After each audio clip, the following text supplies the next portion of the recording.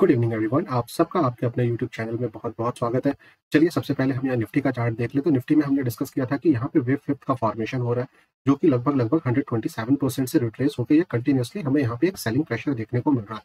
मैंने बिल्कुल first half में यहाँ पे निफ्टी को शॉर्ट दिया था टेलीग्राम चैनल पे। तो अगर आपने टेलीग्राम ज्वाइन नहीं किया है तो आप ज्वाइन कर सकते हैं। लिंक डिस्क्रिप्शन में है। वहाँ पे जो भी मुझे अपडेट दिखता है मार्केट के रिगार्डिंग या फिर कोई अच्छे स्टॉक्स में अपॉर्चुनिटी दिखती है तो मैं वहाँ पे ज़रूर उसको शेयर करता हूँ कि आप उसका बेनिफिट ले सके। तो अगर हम निफ्टी को यहाँ पे देखें तो निफ्टी में हमें आज सारा दिन एक सेलिंग प्रेशर देखने को मिला। गैप अप खुला गैप अप खुलने के बाद गैप अप थोड़ा सस्टेन हुआ। देन आफ्टर ये मैंने आपको कल बताया कि ये टू और फोर का ट्रेंड लाइन आ रहा है। वेब सेकंड और वेब फोर्थ का। तो यहाँ पे इस ट्रेंड लाइन के नीचे कल क्लोज हुआ था। मैंने ट्रेंड आपको टेलीग्राम पे अपडेट भी किया था कि अगर दो दिन, तीन दिन कंजिक्यूटिव इसके नीचे अगर क्लोजिंग आती है, ये ट्रेंड लाइन के नीचे तो फिर हमें एक अच्छा प्रेशर देखने को मिल सकता है मार्केट के अंदर। बिल्कुल वैसा ही हुआ। तो जिन्होंने भी शॉर्ट किया होगा, मैंने लास्ट हाफ़ में आपको एग्जिट के लिए बताया कि मैंने हाफ़ क्वांटिटी एग्जिट कर दिया। हाफ़ क्वांटिटी मैं कैरी फॉरवर्ड कर रहा हूँ, उसे मैंने हैच कर रखा है इक्कीस सात सौ के कॉल के साथ, क्योंकि मैंने इक्कीस सात सौ के आसपास में ही इसे शॉर्ट किया था और काफ़ी अच्छा सा प्रॉफिट मुझे यहाँ पे ऑलमोस्ट 200 पॉइंट का प्रॉफिट यहाँ पे मिल चुका है। तो मैं पोजीशन से अपना मैक्सिमम क्वांटिटी यहाँ पे निकाल चुका हूँ। तो कल अगर हम निफ्टी की बात करें तो निफ्टी में यहाँ पे देखने को मिलेगा कि ये एक सपोर्ट का एरिया जहाँ से कंटिन्यूसली बाउंस कर रहा है। बट अगर ये कल 21 500 के नीचे निकलता है तो फिर हमें 120 130 पॉइंट का फॉल इजीली देखने को मिल सकता है। इसके बाद जो नेक्स्ट सपोर्ट की बात करें, वो आपका लगभग 23 परसेंट के आसपास है। ये है इक्कीस तो ये 23 परसेंट का जो लेवल है, मैंने यहाँ पे जो स्विंग लो जहाँ से ये वेव स्टार्ट हुआ वेव फिफ्थ स्टार्ट हुआ, यहाँ से इस लो से इस हाई का मैंने फीवो डाला हुआ तो अगर यहाँ पे मान लीजिए वेव फिफ्थ कंप्लीट हुआ मतलब कि ए का फॉर्मेशन यहाँ पे हो गया, फिर हमें बी का फॉर्मेशन देखने को मिलेगा, जो कि तीन मूव में आएगा। इसका मैक्सिमम जो डेस्टिनेशन होता है, वो फिफ्टी परसेंट होता है, इससे नीचे वो नहीं आ सकता। तो नहीं आना चाहिए। तो लगभग हमें बीस हज़ार तीन सौ तक का टारगेट देखने को मिल सकता है। अगर निफ्टी इसके नीचे निकलता है ट्वेंटी थ्री परसेंट के नीचे क्लोज आता है, फिर थर्टी एट परसेंट टेस्ट करेगा, फिर फाइनली फिफ्टी परसेंट का लेवल होगा। तो निफ्टी में हम इंट्राडे के अंदर ट्रेड प्लान करेंगे, जो भी कोई अपॉर्चुनिटी मिलता है, मैं आपको ज़रूर वहाँ पे शेयर करता रहूँगा। बैंक निफ्टी भी आपका सैलून राइज हो जाएगा।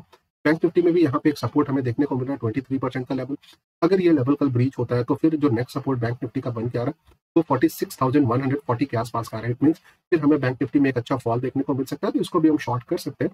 ऊपर पचास से साठ रुपए का स्टॉप रख के, नीचे वन इस टू के लिए हम इस ट्रेड को भी इंट्राडे के अंदर प्लान कर सकते हैं।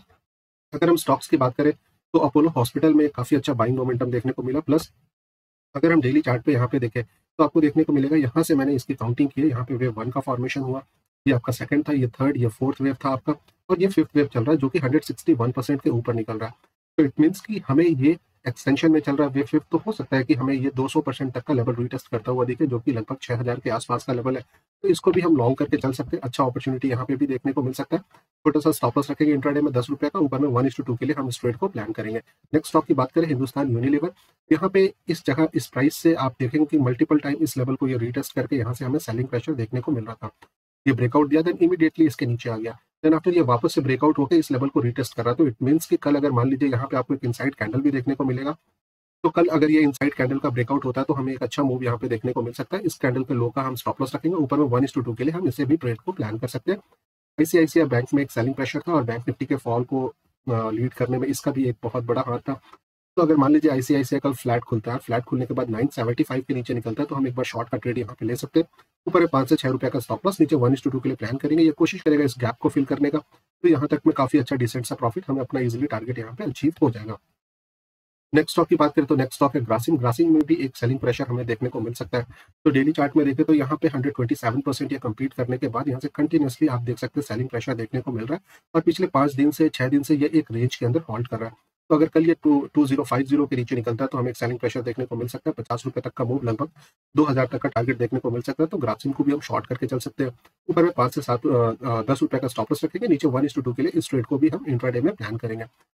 लिंक डिस्क्रिप्शन में टेलीग्राम का, आपने ज्वाइन नहीं किया, आप अभी ज्वाइन कर सकते हैं। जो भी वहाँ पे अपडेट होता है, मैं आपको शेयर करता रहता हूँ और आप अपने क्वेश्चन भी मुझसे पूछ सकते हैं वहाँ पे। तो आई होप आपको ये वीडियो पसंद आया। वीडियो पसंद आया तो वीडियो को लाइक कीजिए चैनल को सब्सक्राइब कीजिए, वीडियो को ज़्यादा से ज़्यादा शेयर कीजिए। डेटा पॉइंट्स मैं टेलीग्राम पे अपडेट कर दूँगा, आप वहाँ पे देख सकते हैं। Thanks for watching keep learning and keep earning